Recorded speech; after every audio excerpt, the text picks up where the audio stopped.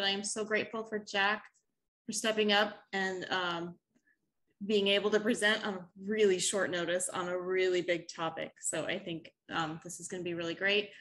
Jack is kind of a self-taught naturalist from a young age. He's um, led many trips through California for Sierra Club. He's gone backpacking in Alaska. Um, he's been in many, many different um, departments through UC Davis. Uh, I think he's well qualified to teach us about global warming, and I'm really excited to hear his talk. So please go ahead and put your questions in the chat, and we will go ahead and let Jack start talking.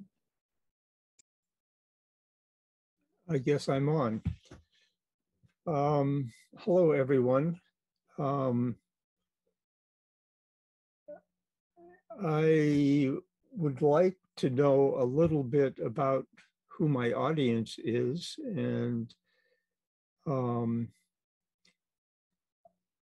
I guess that's hard, but uh, I got into this um, problem of global warming uh, about two years ago, I guess. But it came as, as rather a surprise. And I've been very active since the mid 1950s in conservation, in outdoor work, in naturalist work. Um, ever since.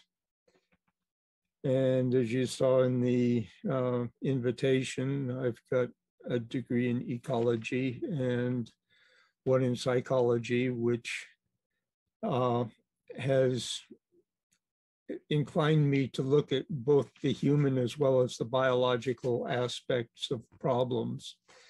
And this is certainly a huge problem that has come down the line.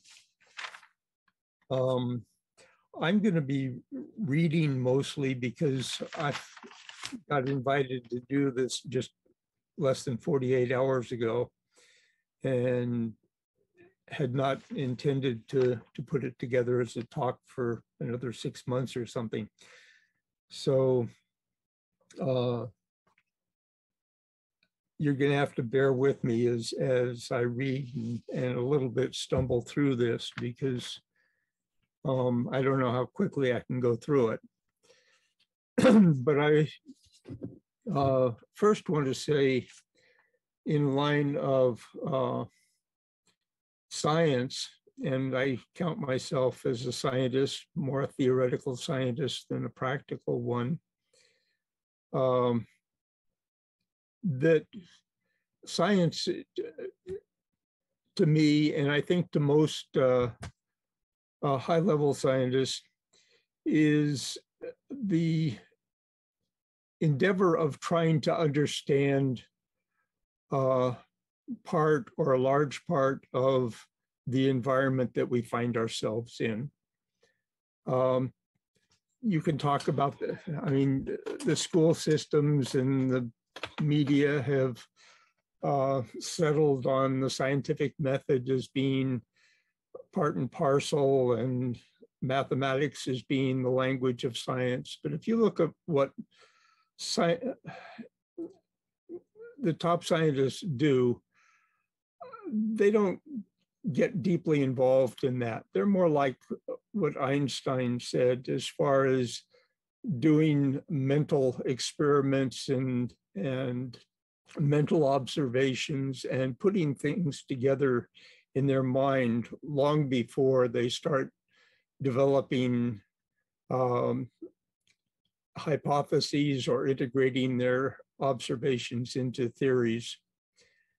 Um, and it's only after that that they go to the, the point of trying to formulate experiments to test their hypotheses.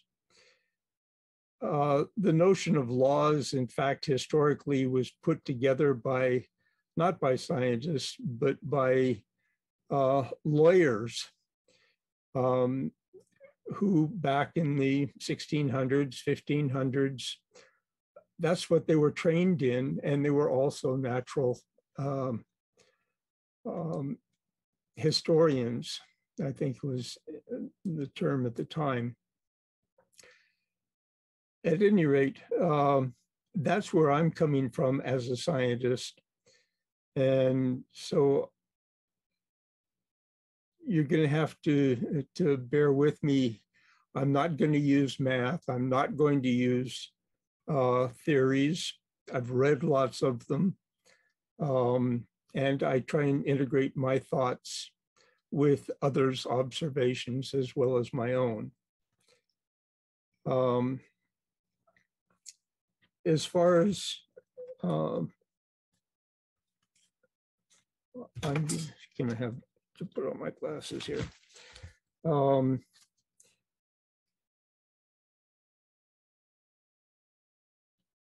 yeah.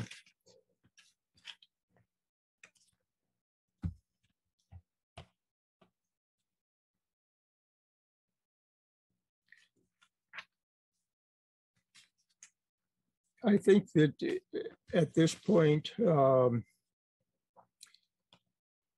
I want to uh, jump right into giving you as much of a understanding of the global warming problem, how it's developing, what salient points are, and how we get to the, the point where it looks like it's a um, viable unfolding to actually endanger not only us as a species, but much of the biosphere itself.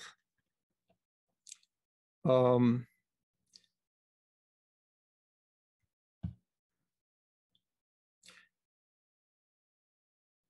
decades of warming that the human population uh, exceeded the biosphere's carrying capacity um, has been um, pretty obvious uh, looking back through history. I mean, almost every civilization that has come along has been one that exhausted its resources or been blindsided by a major climate change and then either disappeared or shrank dramatically. Everything from Mesopotamia uh, on in uh, all the continents. Um,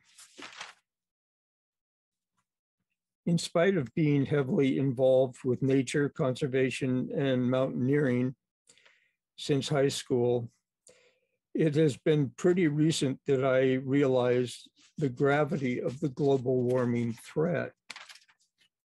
Yes, I had pondered the Club of Rome book and Gore's Inconvenient Truth, but it really didn't click for me that these are high, highly likely to be existential forces uh, terminating our biosphere.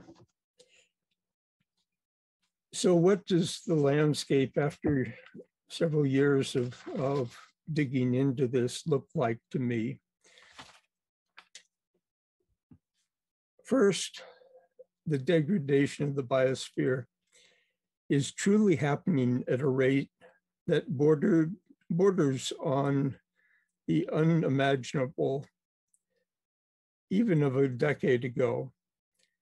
And the rate of acceleration beyond action, uh, any action that humanity can reasonably take to rein it in um, is overwhelming are hobbled the laudable efforts, very laudable efforts to steer humanity to anything approaching an understanding stewardship of our biosphere has apparently really been an abject failure. And I've been uh, involved in an awful lot of, of those conservation and education efforts. And I know the the people have, have worked really hard and thought very creatively about the process, but it hasn't really moved the needle in terms of humanity's understanding. Uh, natural buffering systems, which have largely blinded us, I think, uh, to the damage we have been doing through the wanton extraction and exploitation of biocarbon resources, are rapidly becoming overwhelming such that atmospheric temperature, potable water, arable land, viable fisheries, and viable, viable biodiversity, let alone thriving um, biospheric sustaining ecosystems, are likely to stop supporting our and most of our fellow Earthship travelers uh, what they depend upon them for life.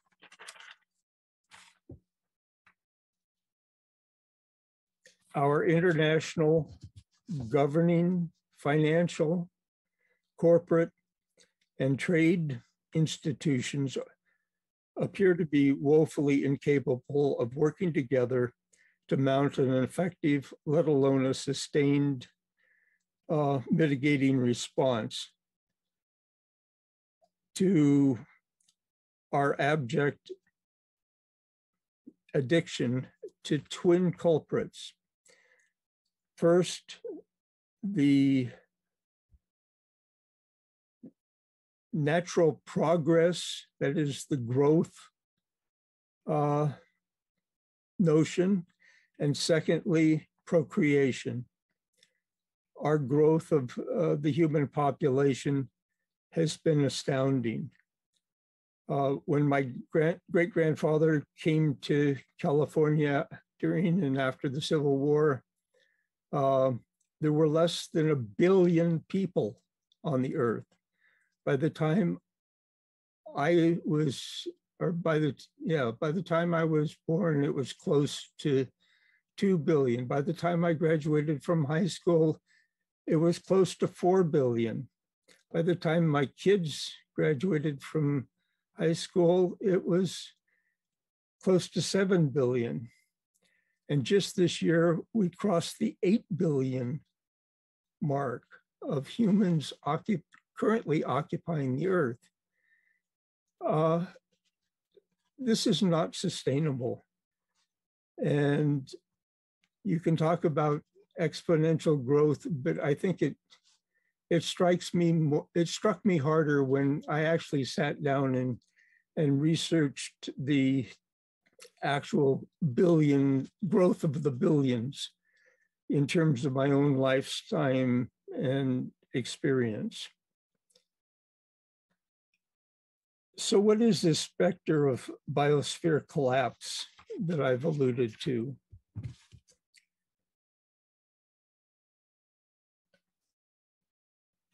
it's a cascade of things.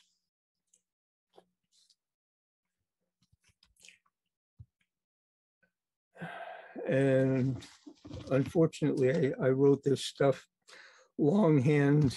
Um, so I'm going to have to pause and, and figure out what I wrote once in a while.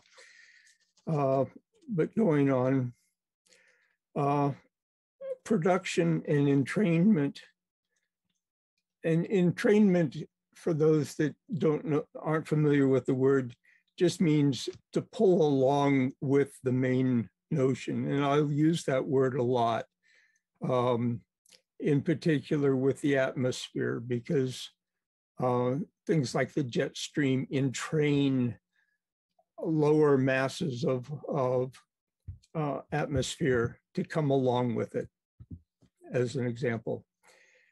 But the production and entrainment of, of greenhouse gases, carbon dioxide, methane, nitrous oxide, you're all familiar with them probably. And the entrainment of additional um, greenhouse gases uh, through the natural processes, water, dust, for example. and the uh, production of toxins, uh, pesticides, herbicides, halogens. um, all are the starters of this process that have been building rapidly since the start of the industrial age. Atmospheric and oceanic heat sequestration is another um, stepping stone in the process. Climate disruption, runaway heating, stimulation of new and more intense atmospheric wind rivers and thermohomogeneous waste, sorry, air masses. And by that, I mean, um, and I'll get into it a little bit further on, air of a given temperature hangs together and doesn't mix with air masses of other temperatures. And they move uh, largely because of, of gyres. Um, but we'll get further into, into that as, as we go along. And I've got a uh, live animation, if it works, uh, that shows how it's working right now.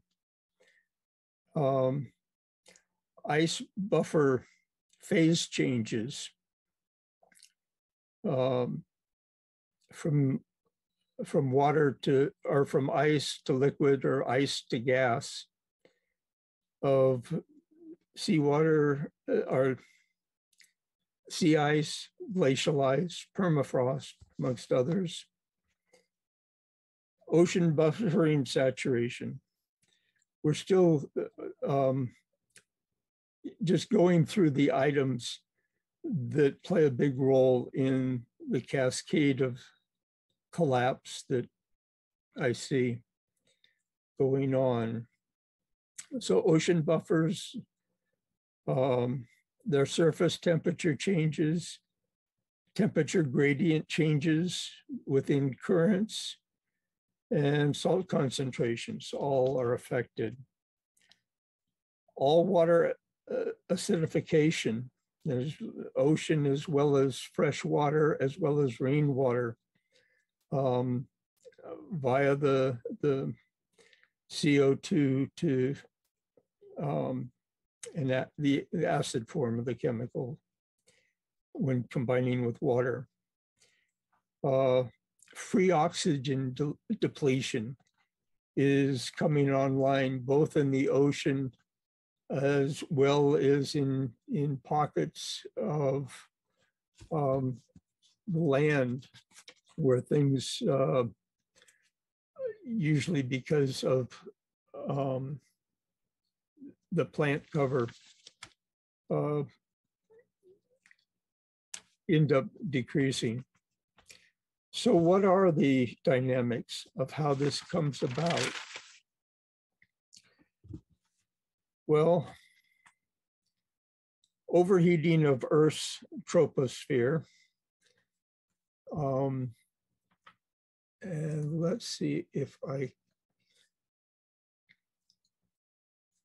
I may not have held on to that picture. Oh, yeah, maybe here. Yeah for those that aren't particularly aware of what our atmosphere looks like and since- Jack, sorry, can you share your screen?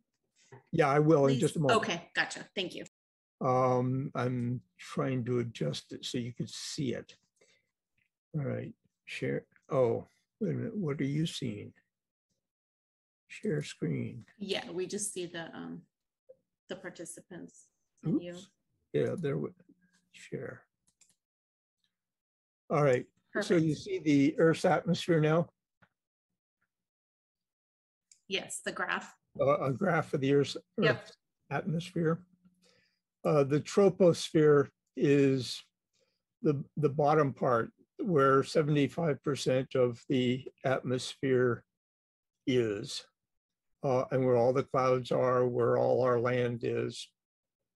Um, and as you, the bottom that's disappeared is, is temperature. So as you go up in atmosphere, the temperature drops, and that's a major cooling aspect of the atmosphere. Uh, then you hit a tropopause where actually a lot of chemistry is going on. And it's that chemistry that maintains uh, the temperature even as it goes up um, in, in elevation. And then you see the other uh, levels of atmosphere.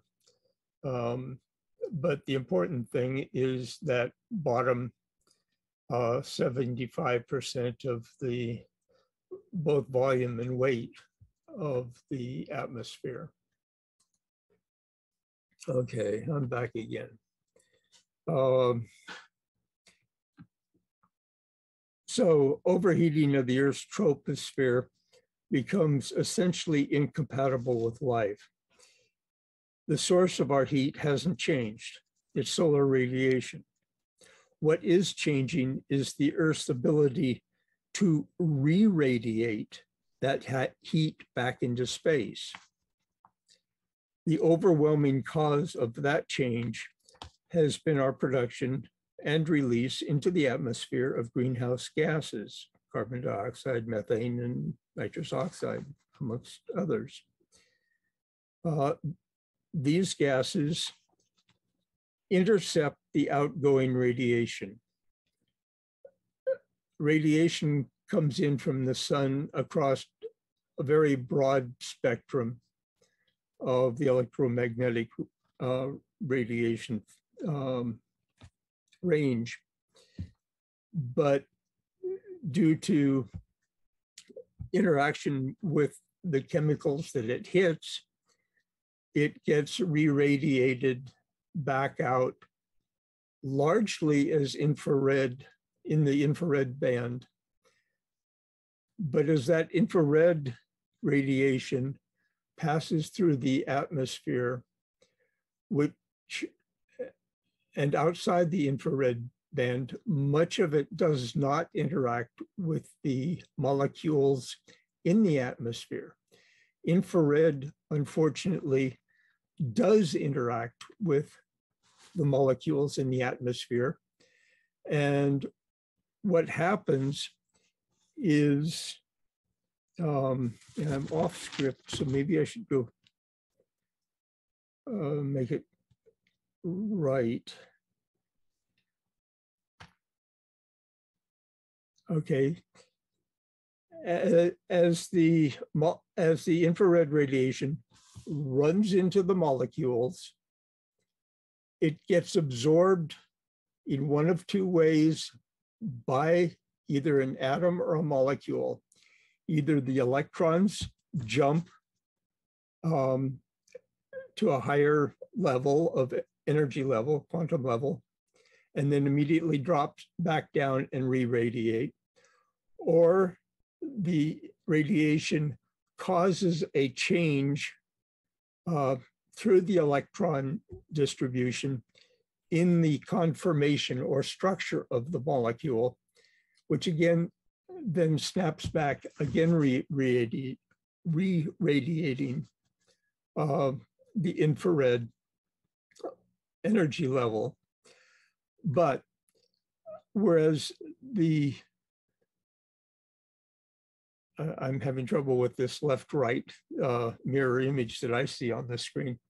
Uh, but as the radiation hits, it's going up. When it gets re-radiated, it goes out in all directions, all, um, what, 365 degrees in um, all dimensions. So in fact, that's what they say when um, the upper atmosphere with the extra carbon dioxide, green, green, greenhouse gases, is acting as a blanket. It takes that outgoing radiation and stops it. Um, why doesn't it stop the others? Because they're at a different bandwidth and don't uh, interact with most of the molecules and atoms in the atmosphere. Nitrogen and hydrogen and oxygen being the, the major ones. Okay. Oh, the other point I wanted to make before I leave that part is that um, the troposphere isn't uniform in height uh, around the Earth. At the equator, it's about 12 miles up to the tropopause that you saw. And at the poles, it's only about half that or six miles up. That'll come into play a little bit later when we look more closely at the heating issue. All right, the accumulation of this excess heat energy engages numeral, numerous, yeah, numeral, right, numerous natural phenomena, which then exacerbate uh, the heat sequestration. So what are the most consequential processes which are uh, compounding the heating? This is where the story begins to become more complex. Pardon.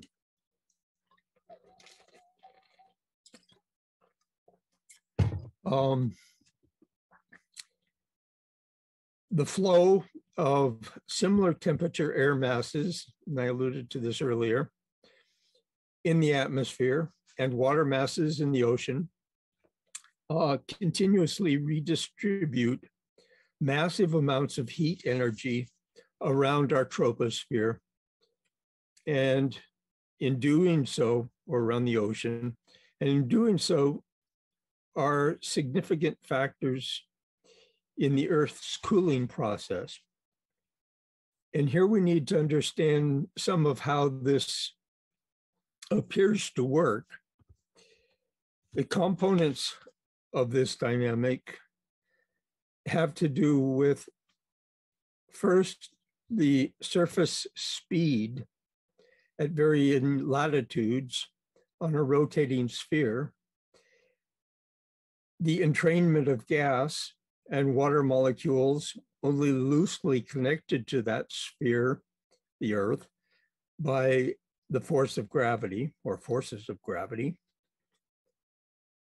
The hydrodynamics of drag amongst the various masses, drag being the friction between air masses or water masses and the rotating Earth. And the tendency of gas or water masses of the same temperature to hang together. So what's going on? This has a lot to do with the buffering of excess heat that we hear about by the Earth, effectively keeping it out of the atmosphere near the surface, which allows the temperature range compatible with life. Okay, here goes. The Earth spins one rotation in 24 hours. The Earth is about 24,000 miles in circumference at the equator. So the surface speed from a point in space uh, is a thousand miles an hour. We don't have winds at a thousand miles an hour. So gravity is entraining the atmosphere to go along with the speed of the earth. But most of the time, it doesn't keep up. So that should sink in for you that that's a major driver of wind speed.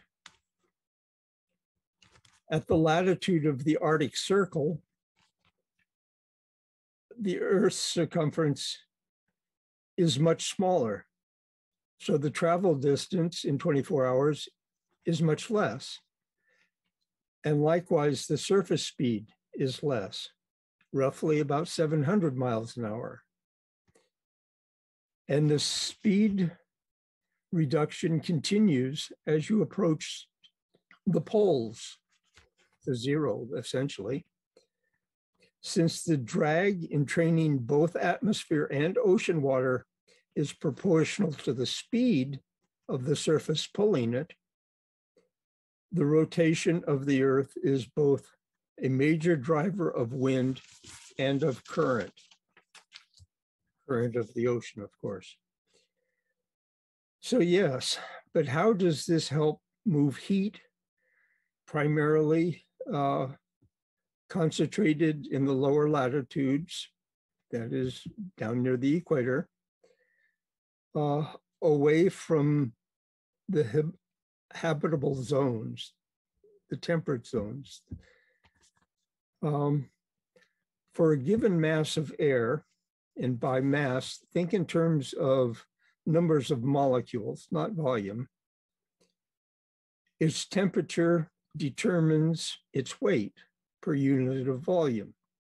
Cold air sinks under hot air and pushes lighter, lighter hot air out of the way we have the this notion that hot air rises, which is an illusion, an artifact. That's not physics.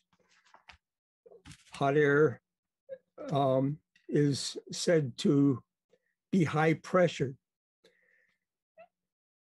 which you, which all of a sudden becomes cognitive dissonance. But if you think of pressure in terms of hot air in a pressure cooker, it's expanding against a wall and the pressure is high. But on the surface of the earth, and as you move through air masses, it can expand. And so, in fact, it's lighter per unit volume, even though we uh, or meteorologists think of it as higher pressure. And they often mistakenly, I think, uh, say that wind moves from high pressure to low pressure. That again is a misnomer because what's happening and a weather front, uh, uh, an oncoming cold weather front will show it with the weather balloons. The cold sinks underneath and put the hot air and pushes the hot air out of the way. And that's, and because the resistance up is much less usually than going sideways, that's the hot air rising that we see. Okay, um, the next piece to recognize is that, and I may be redundant here, um, is that heavier masses in a liquid or a gas medium tend to move as quickly as, no, uh, okay, as quickly as possible down the speed or drag kinetic energy gradient. What I mean by that is you can think of it in a quick experimental experiment that you've probably seen in the kitchen. Um, in a pan or a bucket of water, being stirred round and round. If you toss in a handful of rice or anything else that's heavier than water, um, you'll notice that the kernels immediately move to the center of this or the slower moving part of the basin of water. Likewise, cold atmospheric air and water masses are pushed by the drag of uh, rotation, that is the energy gradient, towards the poles. And that, in addition to rotation, is a major part of the moving of heat away from uh, the lower latitudes. Another piece is convection, which meteorologists make a, a big point of, but I think is, is minor to those two others. Um, they convection currents do arise in a complex interaction with the temperature gradient and with moving air and with streams of air. Um, I generally will ignore this because I only see it as a minor force when manipulating satellite data, data renderings available and updated about every 15 minutes. And at this point, um, what I'm referring to is the website earth.nullschool.net. And I will try and share that screen with you here.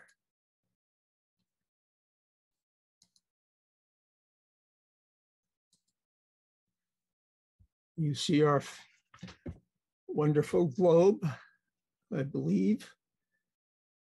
And yes, I can still manipulate it. So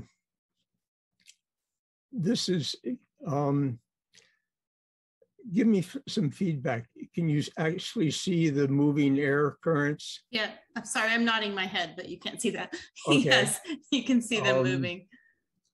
All right, this is a wonderful resource for anybody worried about global warming. Because as I've pulled up the um, control panel on it, you can see wind and, can you see my cursor? Yes. Okay. Um, you look at air, you can look at oceans, you can look at uh, currents, um, and wind and temperatures, um, relative humidity. One I happen to like for the fun of it is the misery index, which is a combination of temperature plus uh, relative humidity and air pressure at the uh, uh, on the um, at, at the various levels of the atmosphere. The height here is um, appears to be decreasing because as you go higher in the atmosphere, uh, you get lower atmospheric pressure. There's less air above you. So the surface of the Earth is about 1,300 um, hectare pascals, uh, hectopascals. Never can get that right. Um, 1,000 is is still within in mountain area, and 250 is the level of the jet stream. And you see a jet stream going around Yeah, it's moving. up high. So this is what I was referring to as where I pick up my observations by and large. Um, I'd leave it on the screen, but you'll stop listening.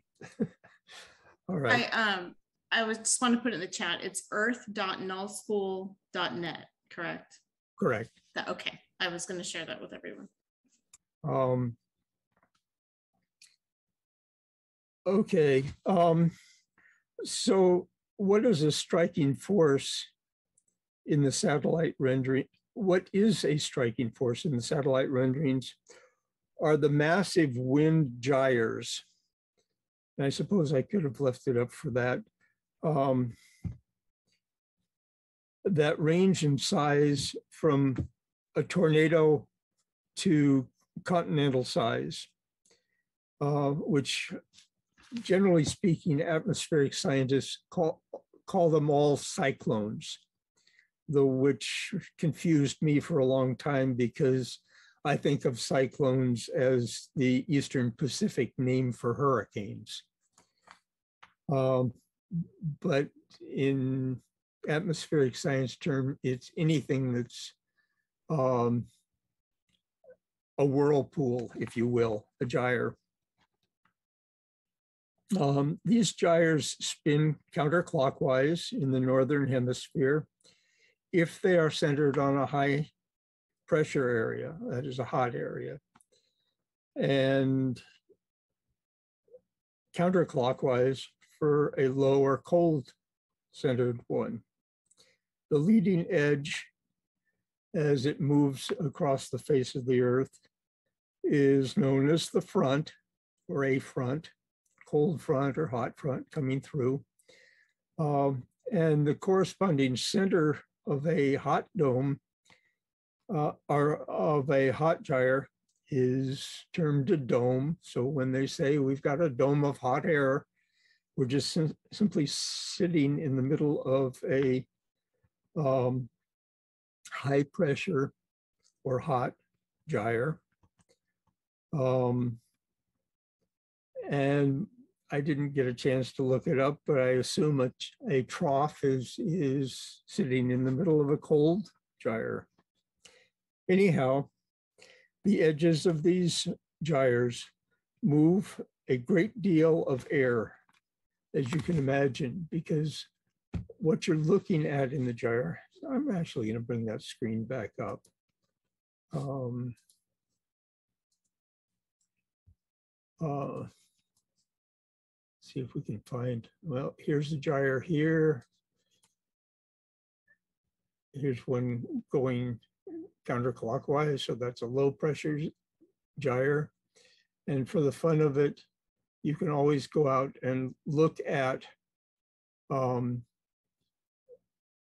the mean sea level pressure that, and click on it, and you'll see that this one is is at 1060, whereas let's find a high pressure one.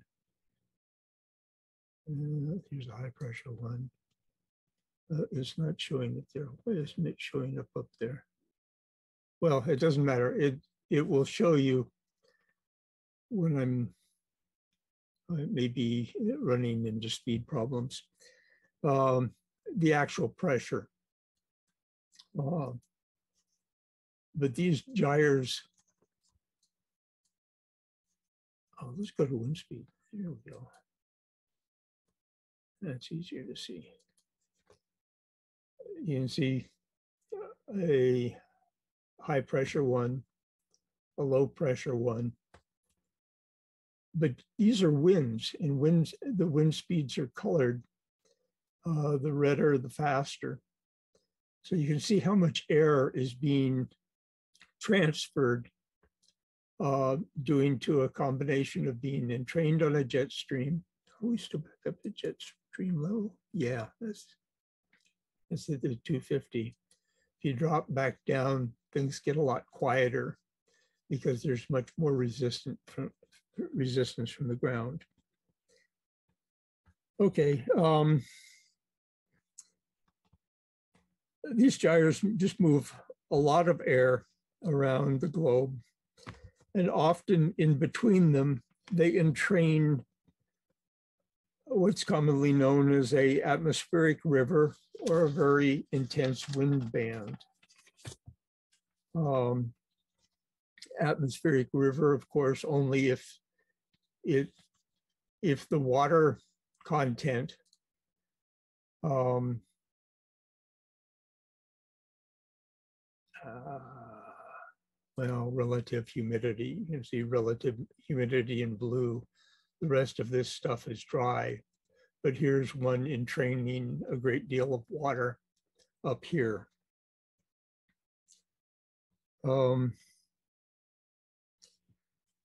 elevation in the atmosphere here plays a big role in the redist in the reduction of the effect of the drag on the winds. And as I noted, that's what allows the jet streams to form because they aren't, uh, uh, they've been released from the drag. At the lower elevations, you see something like the eddies and counter flows that you see in a wild river. Um, and you've seen, let's go back to wind. Um, here, okay.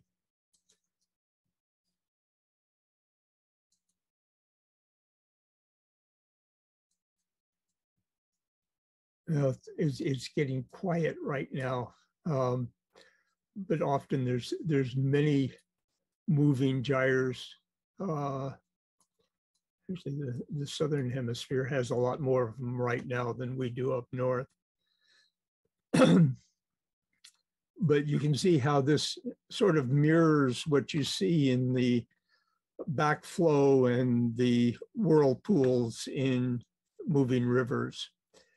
And if you think about the equator moving this way at a thousand miles an hour and the atmosphere as a liquid getting pulled along and running into things and getting heat, heated up um, on the sun side, cooled on the um, lee side, if you will.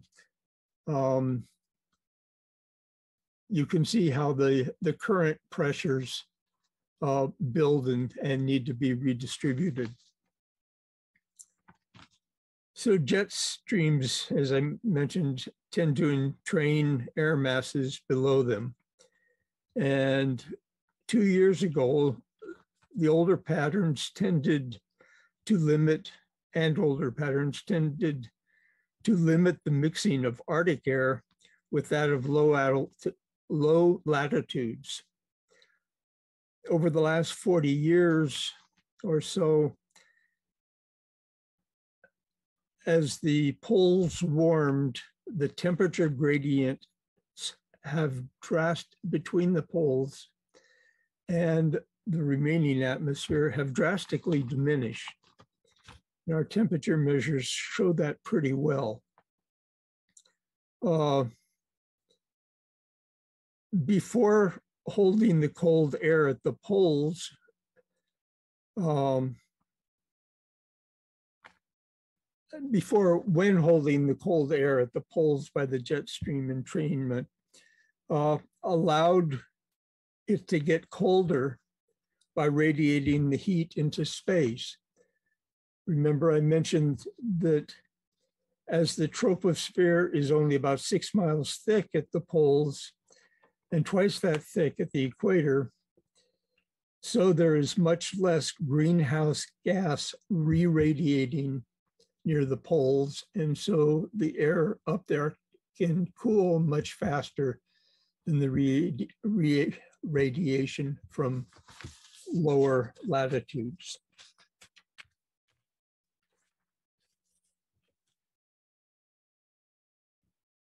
Uh, let's see. I'll try and get through the rest of this in, in my 10 minutes. Um, the same sort of hydrodynamics take place with the ocean currents, uh, with the added complexity of a salt gradient due to the fresh water melting in at the poles. Moving on from the Earth hydrodynamics, uh, what about the buffering phenomenon I mentioned?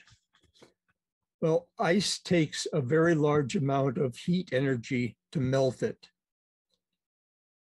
either to water or sublimate it to a gas.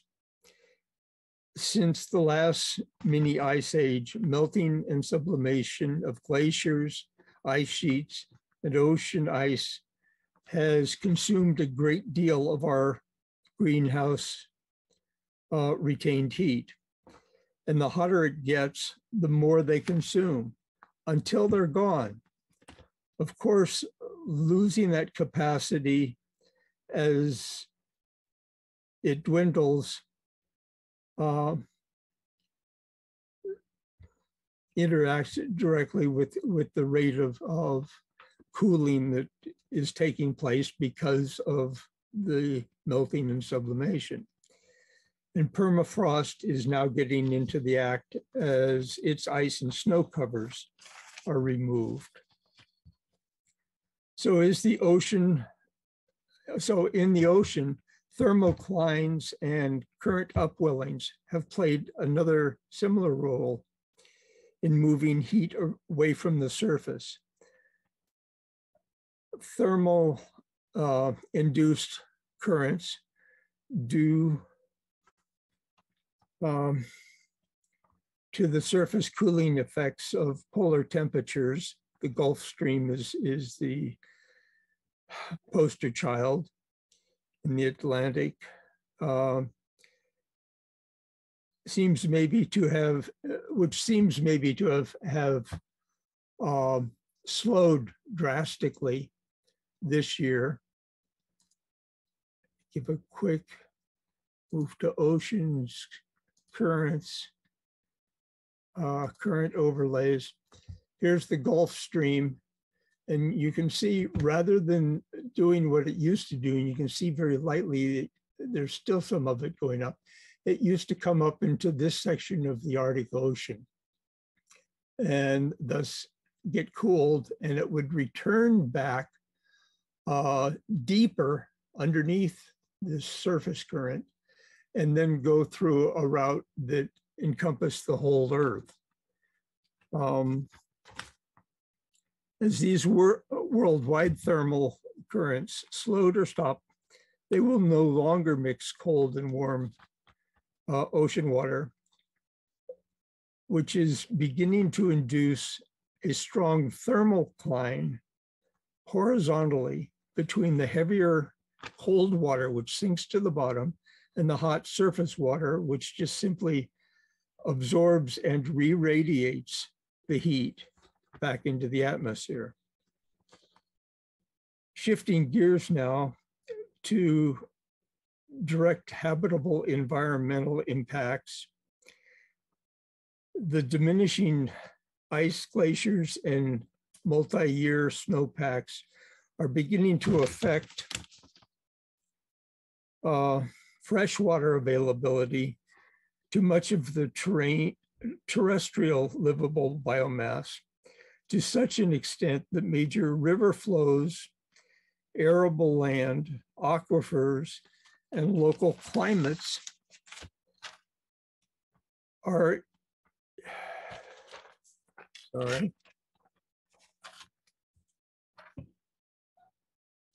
are inducing an acceleration in de desertification. We see this even in the United States going on, diminishing biodiversity.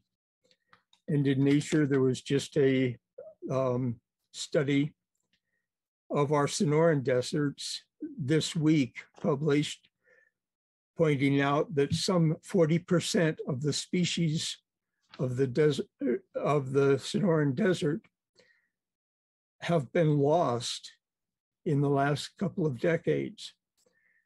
Death by dehydration is rapidly becoming a common observation worldwide. The cascading effect is that floral as um, plant transpiration slows, the, the plants both run out of water and they tend to protect the water that they have by closing their stoma. And the dependent fauna and many insects and to a lesser extent, the um, more complex animals get an awful lot of water from plants directly, um, become stressed and die. Also, the drop in trans um, transpiration and concomitant drying and weakening of the uh, foliage results in insect and disease predation, death, and an increase in the flammability. Thus our wildfires, you know, and the wildfires have become worldwide and unmanageable. And we know them well in California and in the United States, but Spain, much of Spain has gone up in smoke, much of um, Greece has gone up in smoke. Uh, we're all aware of, of what's going on in the Amazon in terms of uh, fires and, and, slash burning. Um,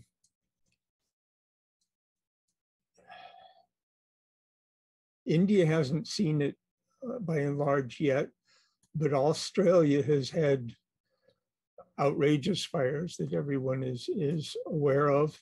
And Indonesia is also, um, and part of that's because of agribusiness, but it's getting burned off uh, very rapidly. And then as you go up into the Arctic and the um, drying of the perm, the melting of the permafrost and drying uh, of the foliage and the movement of uh, trees and shrubbery into what used to be uh, basically grassland or tundra uh, is getting burned because of lightning fires and the in, inability of man to put them out. Um, so directly for us and many biota, the rising temperatures will result in our um, ability to, will decrease our ability to maintain a viable individual environment and our physiological systems will de dehydrate. Amino acids in our bodies uh, tend to start tearing apart and will die. Uh, this begins to take hold for humans and most mammals in an effective way at about the equivalent of, and this is recent research also, 86 degrees Fahrenheit with a 60% relative humidity. It's not a pretty picture and it's I've found it very difficult to put any sort of timeline on it. But on um, the positive side, I will say that we can look to, um, let me stop this and go back. Um, to our recent fires. And this is um, our intercoast range is part of the Stebbins Cold Canyon Natural Reserve. This was right after the 2000 fire. And you can see it has no, no living foliage visible. There's another picture up on the Blue Ridge looking up uh, Wild Horse Canyon. But even before the rains came after that fire, this was early December, we see um, root sprouting coming back. So this says that even when the surface gets very hot, um, just a little ways down, uh, life can survive. Um, this is down in the creek and it basically got uh, firestormed as well. But after a year and some rains, we have green popping up uh, largely from the seed bank. Again, it was preserved by being down in the cool part of the uh, heat gradient that was due to the fire you also see much more green coming back in the creek bed, the riparian habitat. Um, so this gives us a hint that perhaps our future of survivability will be much more like moles than it is like surface uh, dwelling creatures. And with that, I'll just say questions. I ran one minute over. I'm sorry. Uh, No worries. Amazing that I got through it all. You covered a ton of information. It was really, really interesting. I love, I, I wrote it down. I love that, um, the globe with the, I turn my photo. Video, uh, the globe with the, with the, um, airflow and everything, that I could just watch that all day long. Really interesting.